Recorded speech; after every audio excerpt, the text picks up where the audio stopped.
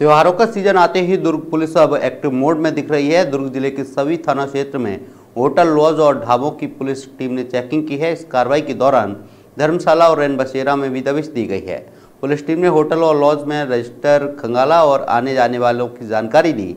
इनके साथ ही बिना पहचान पत्र के किसी को भी न ठहरने की चेतावनी दी गई है।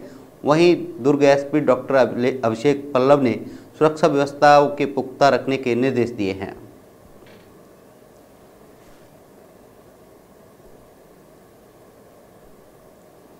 ज़िले भर के जितने होटल रेस्टोरेंट ढाबा लॉज सराय सबकी चेकिंग कराई गई और वहाँ पर देखा गया कि उनके आई कार्ड आइडेंटी कार्ड रख रहे हैं कि नहीं रख रहे हैं जो लोग आगे आ रहे हैं।